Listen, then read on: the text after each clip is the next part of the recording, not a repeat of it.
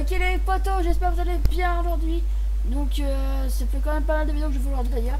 Donc là c'est la petite vidéo pour montrer où se trouve le piano géant. Pour ceux qui ne connaissent peut-être pas l'endroit, c'est possible.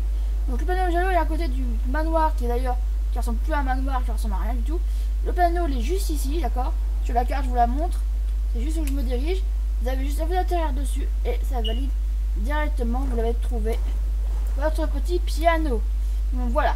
Le piano il est simple à trouver à vrai dire parce que c'est déjà plusieurs saisons qui se trouvent ici. Sur ce je vous dis à la prochaine vidéo. J'espère que ça vous a aidé les gars.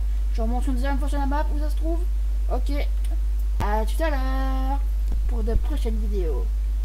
Ciao